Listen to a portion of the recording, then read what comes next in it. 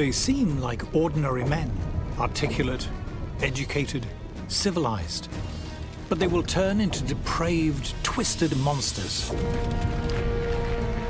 They will commit acts of unimaginable cruelty, for which they will feel no shame or remorse.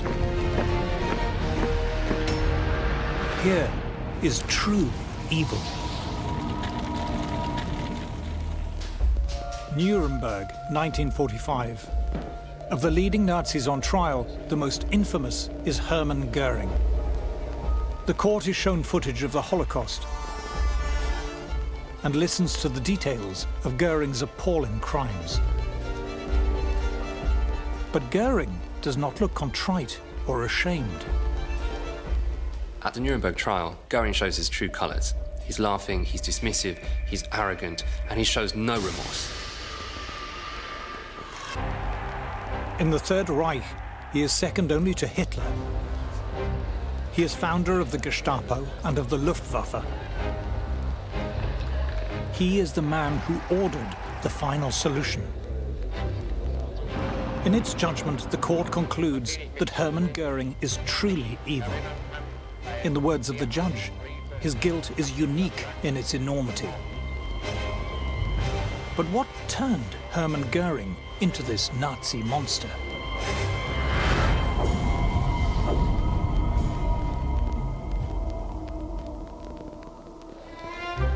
Hermann Goering is the posh Nazi. His story is that of Germany's military aristocratic elite who turned to the Nazis for salvation. The status and fortunes of Germany's aristocracy are based on land. But in the early decades of the 20th century, a new Germany is emerging, an industrial and commercial Germany in which the old nobility struggle to find a role and see their incomes decline. Goering's family is part of Germany's old imperial elite. Goering's father is a former cavalry officer and colonial official. He enjoys social status. But like many of Germany's minor nobility, he hasn't the money to back it up. Goering's father, Heinrich, had worked his entire life in German bureaucracy, but when he returned to Germany, he found it almost impossible to support his family on his meagre pension.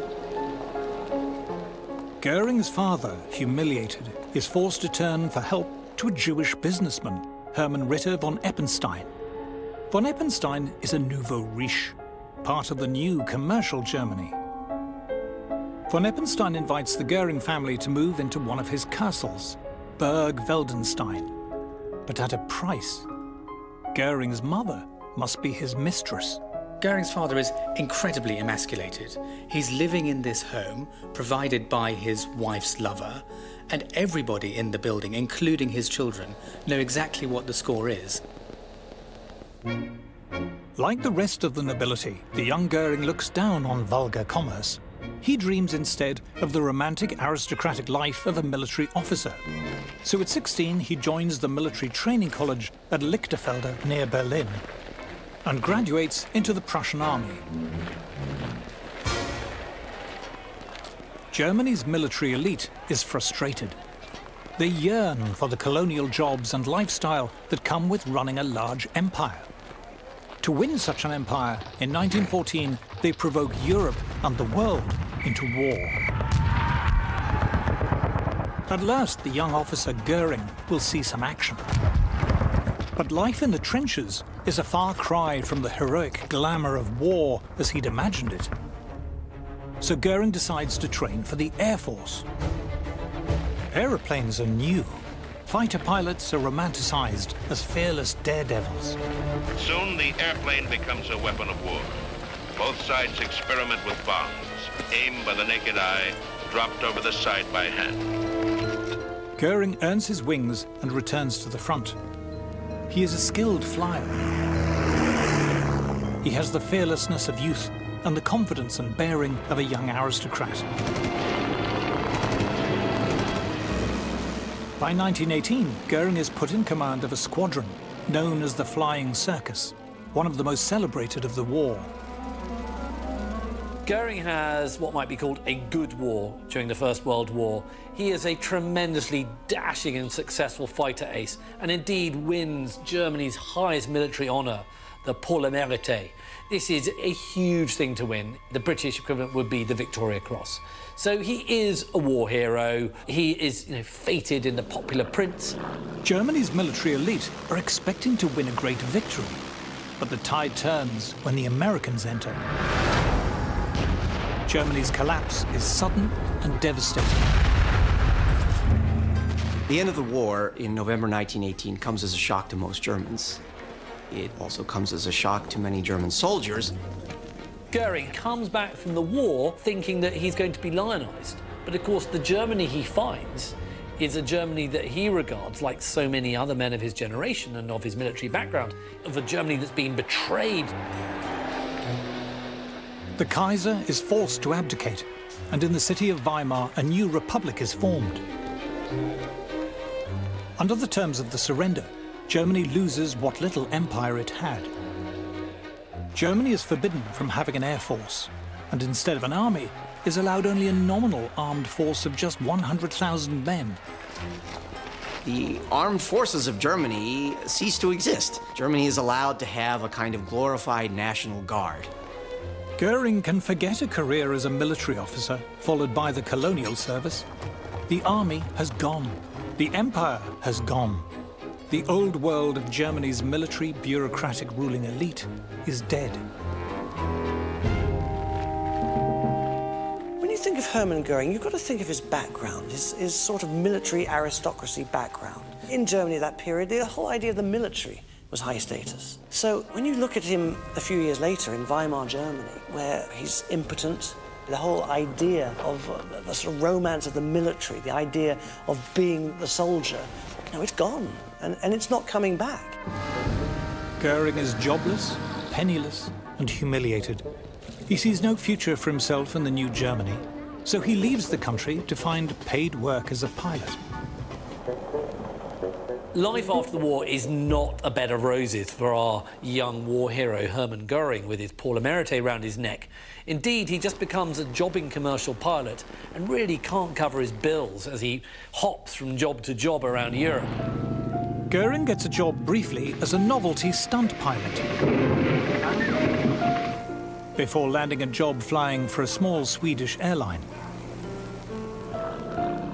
In Sweden, he starts to have what he thinks might be his entree back into the kind of high realms of society that he feels he inhabits. And he falls in love and gets engaged to a, a Swedish aristocrat called Karin.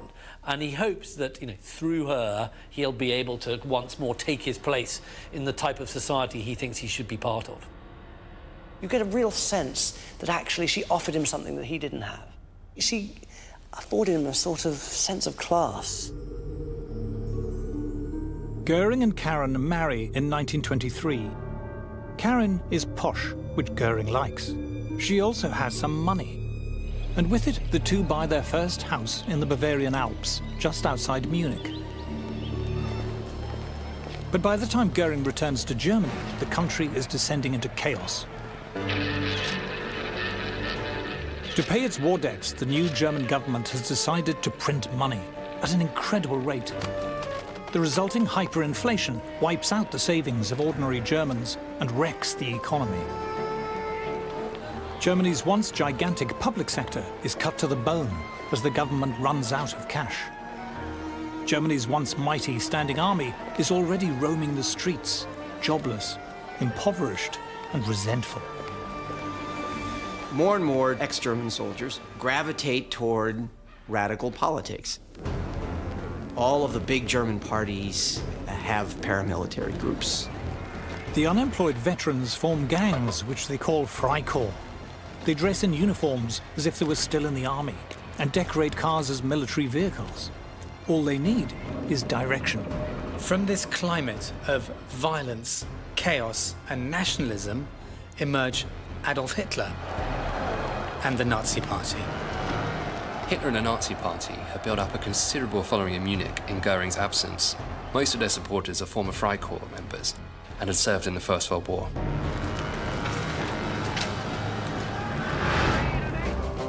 Goering attends a gathering in Munich and hears a passionate speech from the charismatic young political agitator, Adolf Hitler.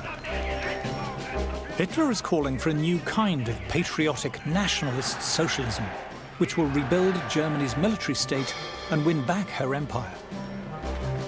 Another attraction of Nazism was that it appealed to the sort of aristocratic military sector of society. You know, these people who once had the, the, the glamour, people like Hermann Goering, who now in Weimar Germany had none of the status they had before and they didn't have hope.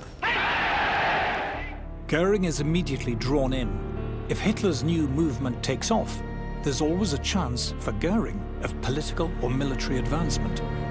I think there's no doubt he saw in Nazism at this early stage the chance to sort of bolster himself, to climb on a very good bandwagon, actually, something that you know had the potential to rise up and to make him personally important and to increase his own personal status. Hitler, for his part, could use a decorated high-ranking military officer and asks Goering to be head of the Nazis' paramilitary wing, the SA. Hitler doesn't have much military credibility, but Goering really does. He is a famous and a decorated World War I flying ace. So when he takes over the SA, he does so with a background of real military experience and real military achievement. Goering, the Prussian military officer, sets out to turn the Freikorps brown shirts into a disciplined fighting force. Within a year, Hitler is so impressed by the new look SA, he decides to use them to seize power. Hitler is inspired by the success of Benito Mussolini. The world's first fascist dictator has seized power in a coup. With Goering's help, Hitler will attempt the same in Germany. On the night of November the 8th, 1923, Hitler, with Hermann Goering at his side, storms into a beer hall in Munich with 600 of Goering's armed SA men. They take hostage dozens of Bavarian ministers. The following morning, the Nazis, now numbering 2,000, march to the Odeonsplatz and are confronted by just 130 soldiers. It's not recorded who opened fire, but it was a bloodbath. In the chaos that ensued, 16 Nazis and four state policemen were killed. Hitler is arrested for treason and sent to Landsberg prison. Goering, who was shot in the groin, manages to escape to Austria. Here, he and Karin take refuge briefly with his Jewish-born godfather, von Eppenstein. The putsch is a disaster. It could easily have destroyed the Nazi party before it even got off the ground, and Goering is forced to flee into exile to Austria. Once again, his dreams have been dashed. Hermann Goering's lowest point was probably after the beer hall putsch. He found himself in a situation, first of all, where he, he, he couldn't even survive with his own money. He was reliant on his wife's parents' money even to exist. He was wounded the drugs he was on, he was becoming addicted to. This is where his lifelong problem with drugs started. I think things really couldn't get any worse. He's separated from Germany. He's wandering Europe. He doesn't really have a role. He undertakes menial jobs. He ends up in a mental hospital for part of it. This is the lowest ebb of Goering's life. But a ray of hope comes when Goering makes a trip to Rome, where he meets the Italian dictator, Benito Mussolini. Goering is inspired by the pomp, the grand military parades, and the uniforms. It is like a Prussian officer's dream of how the world should be. And it's a dream that may yet be realized in Germany. For in 1927, the German president, Paul von Hindenburg, declares an amnesty for the Nazi agitators. Hitler is back in business, and for Goering, it's safe at last to return to Germany. Well, he returns in 1927. Hitler has been out of prison for three years, and the Nazi Party has evolved. It's no longer this kind of ragtag bunch of militants and sort of, lunatic paramilitaries. It's now at least trying to portray itself as a serious electoral force. Hitler welcomes Goering back with wide open arms because he's a man with connections, he's a man with charisma and charm. The Nazis tried to gain power through a sort of coup d'etat. That failed. It's now realized that if it is to get its hand on power, it's going to have to do it by legitimate constitutional means. Adolf Hitler, heil! Heil! Goering starts building support among Germany's upper classes. Goering is one of the only true politicians in Hitler's circle. He brings to Nazism and to Hitler's rise to power the aristocratic charm, the military heritage, the ability to schmooze and deal with the other politicians and the industrial leaders. The Nazis are giving Goering everything he ever dreamed of. He's got status, he's becoming an important man. In 1928, he is elected as a National Socialist representative to the Reichstag. At last, he is where he wants to be, mixing with the elite. But the strain of getting here has proved too much for his wife Karin.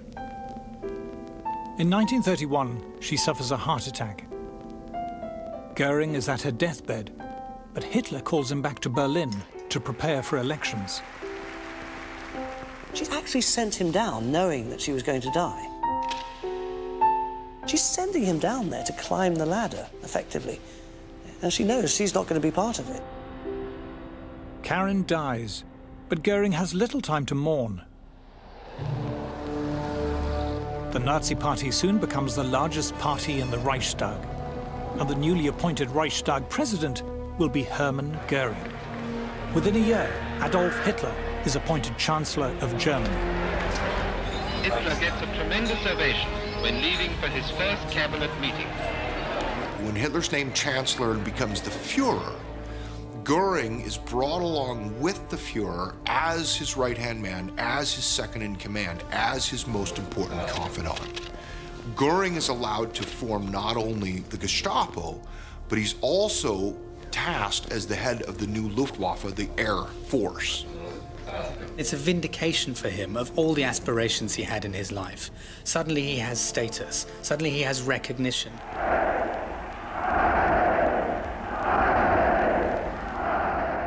Hitler's new government imposes total state control.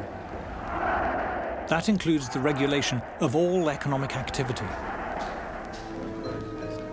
And the man Hitler puts in charge of this newly regulated German economy is Hermann Goering. State control hands huge power to public officials. Thousands of restrictions are imposed on the conduct of business by an ever-growing army of government bureaucrats. Ordinary Germans now need a license to do anything, to produce, to trade, to buy, to sell. To get anything done, you need the cooperation of several Nazi bureaucrats, and for this, they must be bribed. Corruption was endemic in Nazi Germany. It was incredibly widespread. It's almost the way it functioned. The local officials used to extort their power to collect fines and confiscate property. We think of the Nazis as this well-oiled, efficient machine, but actually it was riddled with corruption. Whatever the economic activity, whatever the business, Nazi state officials take their cut. And the Nazis taking the biggest cuts are those at the top. The idea of appointing Hermann Goering as your Minister of Economics is farcical. This is a man who will become one of the world's greatest thieves. He runs essentially what is a kleptocracy. It is a nation run through robbery. Large industrial firms bribe Nazi officials to win huge tax-funded government war contracts. Smaller businesses are simply milked dry by the Nazis. But there is one section of the German population that the Nazis will bleed above all others.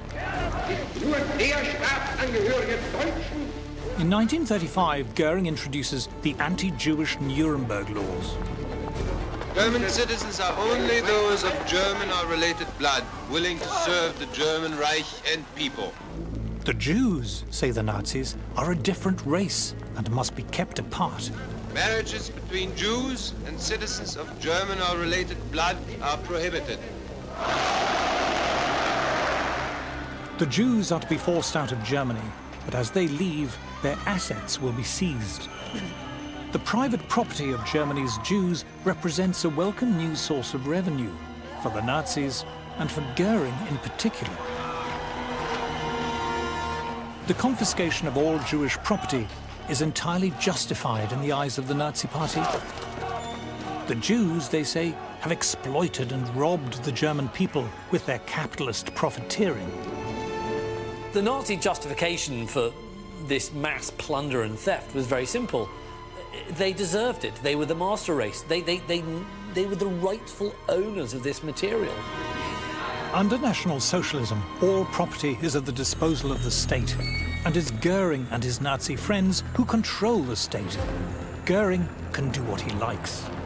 His father had status without money. Goering will have both. And as Goering now demonstrates, his greed is limitless. There was so much being taken from the Jews constantly. And if you're in a position like Hermann Goering, if you're at the top of the tree, then it's yours for the taking. Goering made a lot of money out of the Jewish situation. His anti Semitism is of a somewhat different variety than uh, Heinrich Himmler's. It's not so much rooted in crackpot notions about biology and inheritance and ancestry. I don't think Hermann Goering really cares about that.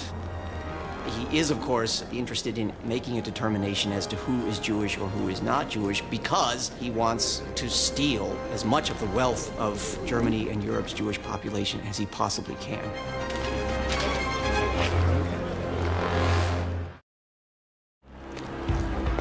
National Socialism has given Hermann Goering incredible power and wealth. He can now indulge his fantasies. He will live the life of a grand Prussian aristocrat, and his vanity, extravagance, and greed will know no bounds.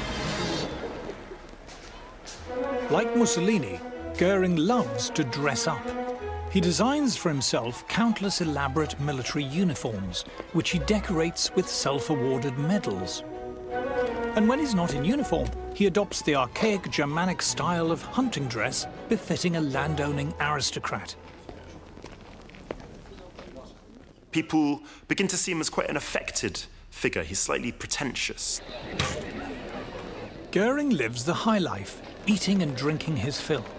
And as he does, his expensive clothes are getting bigger and bigger.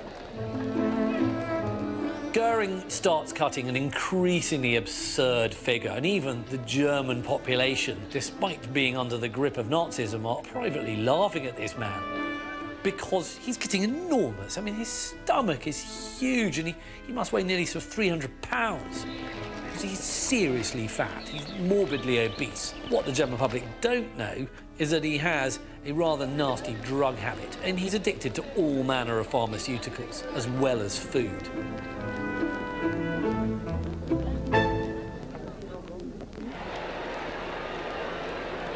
Total state power gives the Nazi leaders almost regal status. And when Goering marries the actress Emmy Sonnemann in 1935, it's like a royal wedding.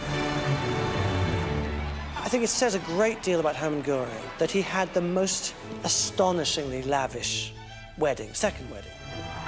Berlin was basically shut down to traffic for seven hours so that 30,000 marchers could march in his honor. The British ambassador actually went along to the wedding, and he was just staggered by it. But what this wedding was really all about was Hermann Goering's status, the fact that, as the British ambassador said, you know, he really couldn't go any higher short of being made a king.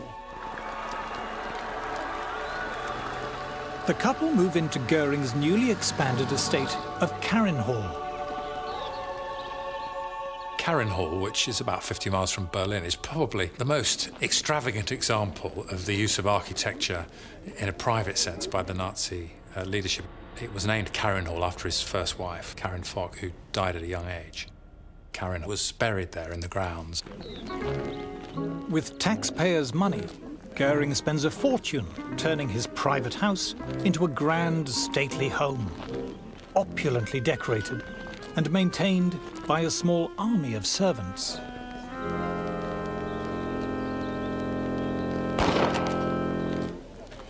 Goering is like a debauched Roman emperor, his limitless gluttony and extravagance supported by the corrupt nationalist socialist state. Hitler has no complaints about Goering's avarice for one simple reason.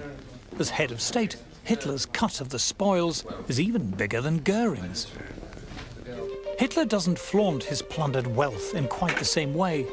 Nazi propaganda presents Hitler in ordinary lounge suits and simple uniforms, as humble, even frugal. The idea that Hitler was just this man of, of very moderate tastes um, and, and, and, didn't have access to uh, that much wealth it's not true. Hitler was incredibly wealthy. He charged a copyright fee for his likeness on postage stamps, um, and he also earned an absolute fortune in royalties from Mein Kampf. I mean, he was staggeringly rich.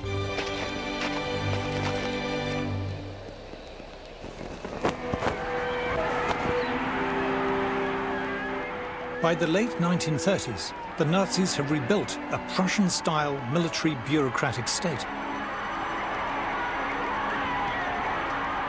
But Germany's vast war machine must pay for itself. And that means conquest. At the top of Hitler's list of targets is Austria. But Goering is at first nervous of war. He is enjoying his status and growing wealth. Why put it at risk? As you can see from his wedding, Hermann Goering is very happy with the way things are going. He's lining his pockets, he's living very, very well, he's content. Goering didn't want war with Austria. That was going to upset his apple cart. So he pushed very much for the Anschluss, for the annexation of Austria, and it worked very, very well. Instead of invading, Hitler bullies the Austrian government into unification with Germany. But many Austrians are happy with this, and when the Germans march in, they are greeted by cheering crowds and Nazi salutes. Goering too is delighted. Austria has a large, successful Jewish population, whose wealth he now intends to plunder. He will rob them of treasure, artwork, cash, gold, you name it. But annexing Little Austria is not enough, either to meet the financial needs of the German superstate or to satisfy Hitler's imperial ambitions. So on September the 1st, Hitler invades Poland. Two days later, Britain and France respond by declaring war on Germany. Once again, a vain German ruling elite has dragged Europe into bloody conflict.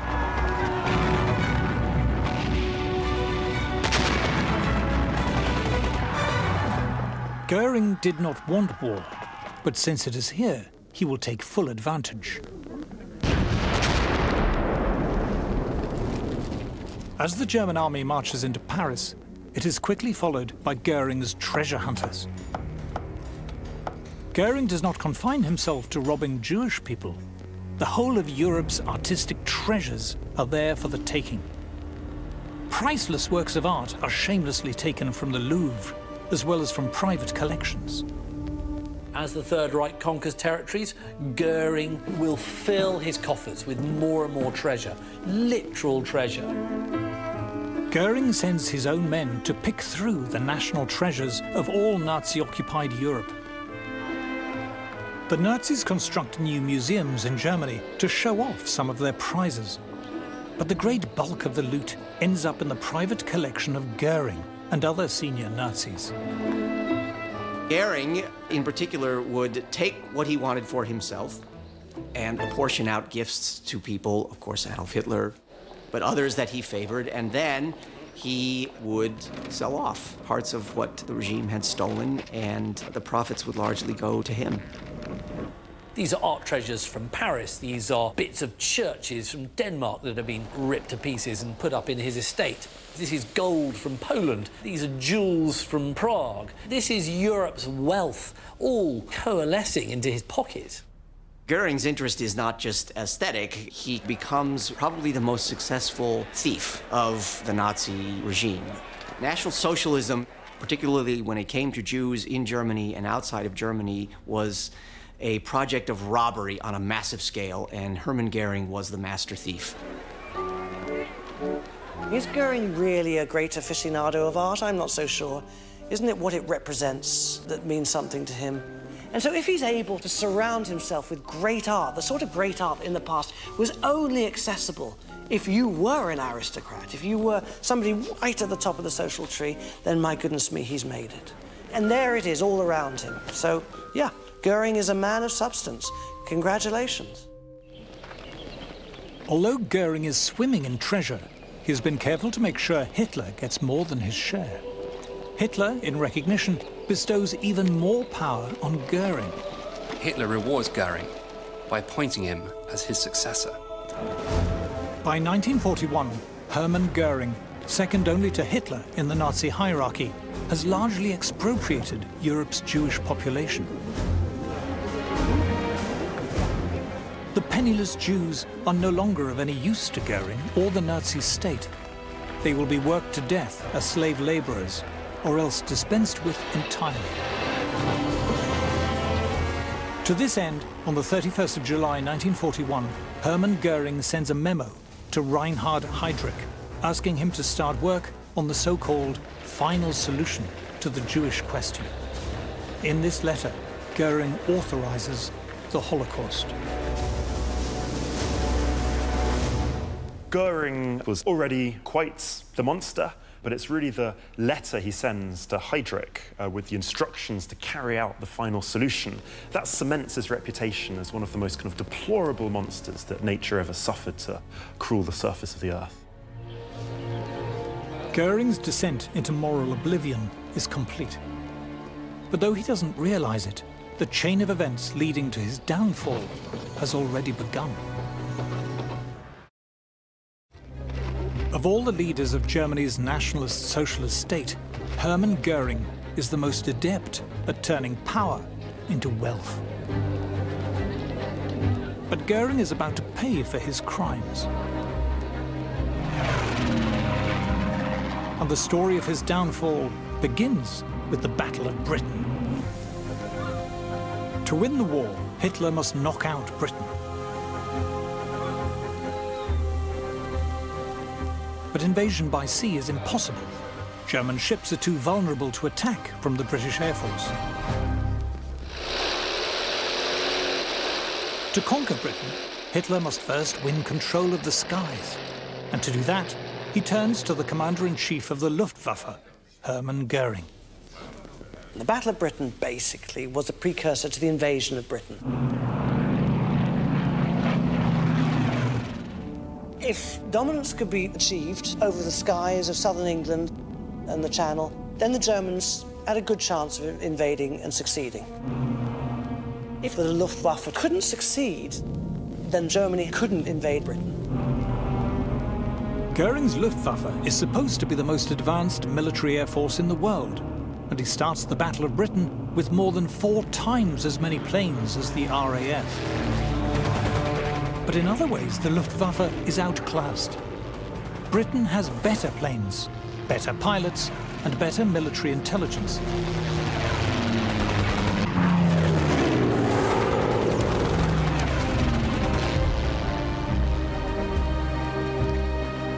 Goering is shocked when German losses are almost twice as high as Britain's.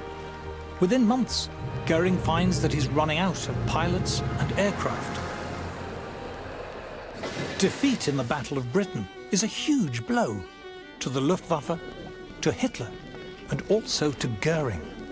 The Nazis now have no hope of invading Britain, and for this, many in the Nazi high command blame Hermann Goering.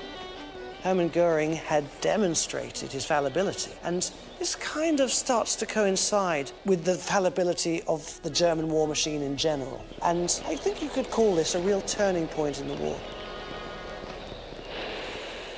The Luftwaffe isn't just outfought, it's also being outproduced. The British were slow to arm, but now its factories are turning out an extraordinary 300 planes a week. By 1943, America will be producing 250 military planes a day. Goering's attempt to mass produce planes is a failure a new version of the Messerschmitt fighter plane is poorly designed and far too few of them are being produced. And it's not just planes. Germany's war effort relies on its state-controlled industry. But Germany's heavily regulated planned economy is in crisis.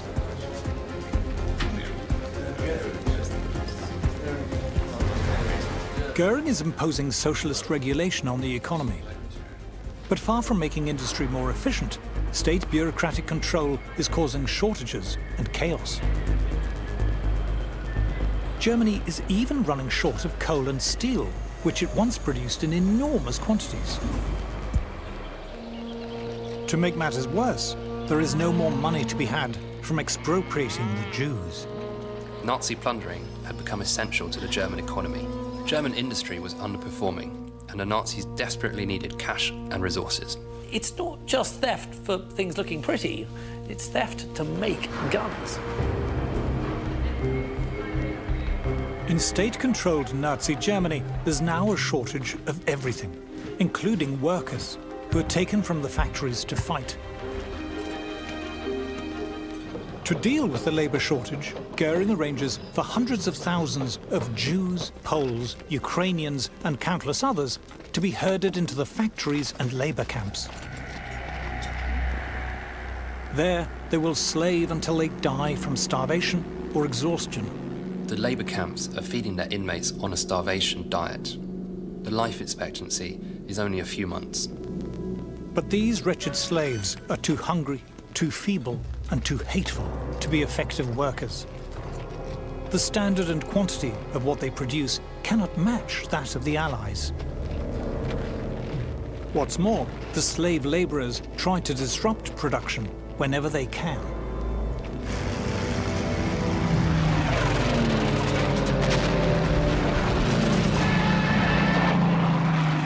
By the start of 1944, Goering's Luftwaffe is crumbling before his eyes. Allied fighters are overwhelming Goering's squadrons. In the single month of February, the Luftwaffe loses a third of its fighters. The following month, it loses more than half of what's left. Denuded of air cover from Goering's Luftwaffe, German factories, docks and airports, its towns and cities are all sitting ducks. The Allies drop millions of tons of bombs. Hamburg, the second largest city in Germany, is all but destroyed. So too Darmstadt and Cologne. German cities are reduced to smoking rubble, factories destroyed, hundreds of thousands of civilians killed, millions more are made homeless. And who is the Nazi whose job it was to defend them? The corpulent, arrogant Hermann Goering. The RAF and the US Air Force have got complete control of the German sky. The German military is crumbling, and uh, amidst all this decline, Goering loses touch with reality. He kind of retreats into himself um, and lives in this kind of fantasy world. He refuses to take bad news, he refuses to have meetings with his officers, and ends up in this state of self induced obliviousness in an effort to block out the harsh reality for him, which is that Germany is on the cusp of huge and uh, irrevocable defeat. June the 6th, 1944. D-Day. The Allies land in Normandy. There is hardly a Luftwaffe plane in sight. The Allies control all of the airspace over Normandy and the beaches and over northern France. On D Day itself, especially in the West, the Germans are outnumbered at about 30 to 1, and they will not be able to overcome those odds for the rest of the war. A furious Joseph Goebbels screams to his confidants that Goering should be court-martialed for his incompetence. But it's all too late. By spring 1945, Nazi Germany is devastated. The last battle, the Battle of Berlin, is about to begin. Goering can feel Hitler's power quickly ebbing away. By April 1945, Goering has basically come to the conclusion that the war is lost. Hitler is a spent force. Hitler is just sitting in his bunker, and there's nothing to be gained by waiting for his instructions. Goering now tries to save his own skin. If he takes over from Hitler as leader, Perhaps he, Goering, can negotiate some kind of deal with the Americans and British. Goering will offer the Allies German help to contain the threat of totalitarian communism. But first, he must persuade Hitler to step aside. He sends Hitler a very carefully worded telegram, basically suggesting that when the time comes, he should take over. And it's already been agreed, actually. It's not as though he's considering anything completely new or anything completely outrageous. But Goering's bid for power backfires. This telegram to Hitler is intercepted by Goering's enemies, of whom he has a few, and they manage to turn it, in Hitler's mind, into an act of betrayal. He leaves orders, first of all, that, that Goering is thrown out of the party. He's certainly not going to succeed him. And that he's actually going to be killed. There are orders given to the SS that Goering is going to be executed. And just days after that, Hitler shoots himself in the bunker.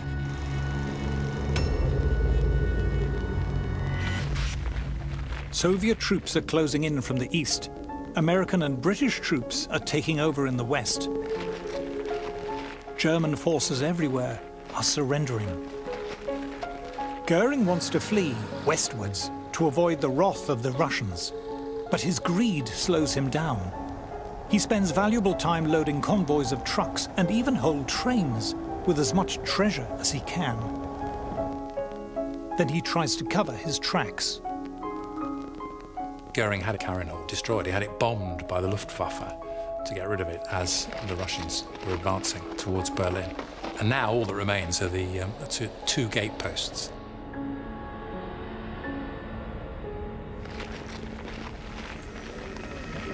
Goering's vast convoy of stolen treasure moves slowly and is impossible to hide. Goering and his loot are soon intercepted by a division of American soldiers. An American army cameraman captures the moment Goering is arrested. Dressed still in one of his lavish uniforms, he is forced to hand over his revolver. When American troops search the convoy, they can hardly believe their eyes. When he's captured, Goering just has the most over-the-top entourage you can imagine. He's got 20 vehicles, he's got some 75 people with him, including a chef, a valet, guards, you, you name it. Boxes full of uniforms and treasure, scuttling for safety with as much as he can carry. Goering, along with 40 other high-ranking Nazis, is taken to a special prison established in a luxury hotel in Luxembourg. The Nazis are delighted to be treated so well and open up to their captors. But the American officers with whom they're mixing are intelligence agents. Goering plays the imperious aristocrat. He flaunts his diamond-studded cap and his jewel-encrusted epaulets and medals. He's allowed to walk in the grounds with his dog. He is boastful and unguarded in his comments.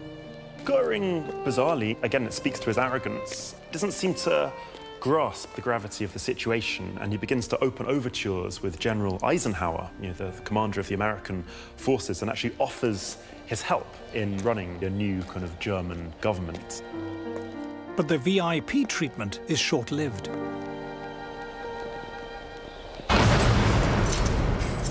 Goering is now transferred to a cramped prison cell in Nuremberg, ready to stand trial for his crimes.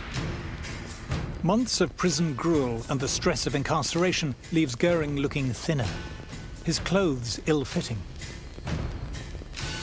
But prison at least cures him of his addiction to morphine. On November the 20th, 1945, Hermann Goering, hiding his face, is led to the Nuremberg courtroom he is accused of crimes against peace, initiating wars of aggression, war crimes, and crimes against humanity.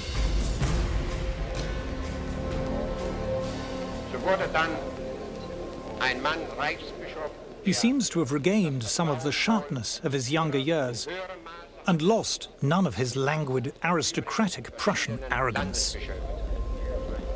He is nervous Yet he smiles and smirks when the prosecution lawyers are making their case. scoffing at the evidence brought forward. I want to see whether or not you did have insight into these matters. Goering shows his true colours at the trial. He's arrogant, he shows no remorse, he's laughing, he's dismissive. This is the real Goering. But for Goering, there is no defence. The court is shown hours of footage of the horrific atrocities committed on his orders. The slave labour programme, the gas chambers, the piles upon piles of corpses. The prosecution brings forward a letter signed by Goering authorising the beginning of the final solution. Goering is one of the architects of the Nazi regime, and he bears an enormous amount of responsibility for the way the economy was set up, for his role in the Luftwaffe at the beginning of the war, essentially as Hitler's number two. And he also has to be remembered for his insatiable greed and his arrogance. A truly awful man.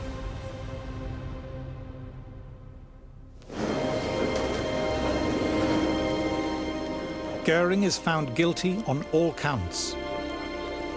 Defendant Hermann Wilhelm Goering, the International Military sentences you to death by hanging.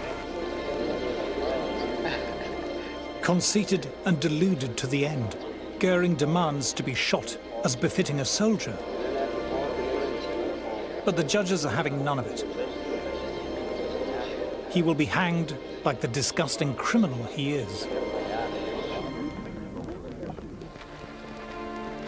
The time comes to escort Hermann Goering to the gallows. But when soldiers arrive at his cell, they find him dead. Goering has swallowed a cyanide capsule.